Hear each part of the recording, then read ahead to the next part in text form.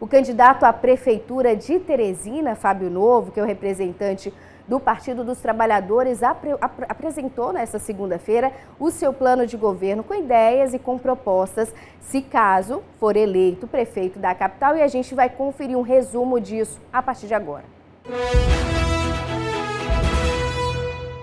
Com o auditório da Câmara de Dirigentes Logistas de Teresina cheia, o candidato à Prefeitura de Teresina, Fábio Novo, apresentou nesta segunda-feira o plano de governo da coligação Juntos por Teresina.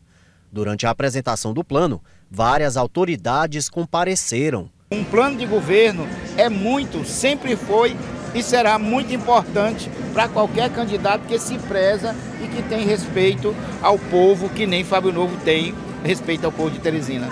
É a primeira vez na história da capital que se tem um plano de governo que foi totalmente construído pela cidade. Abriu-se uma plataforma digital, um site, em que o teresinense pudesse ter o direito de voz e de vez. E assim foi feito. Mais de 10 mil sugestões foram analisadas e as melhores delas inseridas em um plano de governo moderno, arrojado e, sobretudo, com cheiro, com gosto, com cara de povo plano de governo é um documento no qual os candidatos ao cargo do executivo devem apresentar suas ideias e propostas durante os próximos quatro anos de governo. Um documento que é obrigatório e deve ser apresentado ao TSE. O candidato Fábio Novo destacou o plano de governo com as propostas que deve seguir na Prefeitura de Teresina. Um plano de governo inovador, participativo, aonde nós Primeiro, escutamos muito a população, foi um processo de escuta longo. Nós andamos três vezes em todos os bairros de Teresina.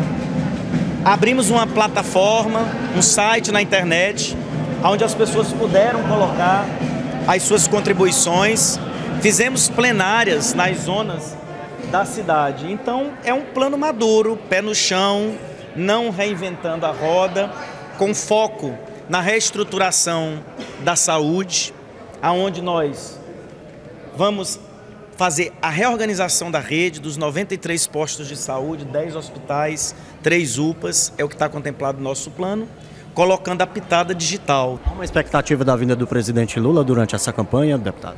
Existe uma confirmação. Eu tive em Brasília com a nossa presidenta Gleice Hoffmann. Ela confirmou que uma das cidades prioritárias é Teresina. O presidente já manifestou o desejo para a nossa presidenta nacional, Gleice Hoffmann, e quero anunciar em primeira mão que eu, sábado agora, estarei com o presidente Lula.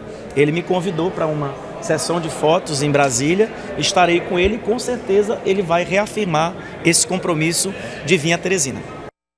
Solenidade de apresentação do plano de governo, a imprensa toda presente. Afinal de contas, esse é o ano em que a gente vai cobrir a agenda dos pré-candidatos para trazer o resumo de tudo para você de casa.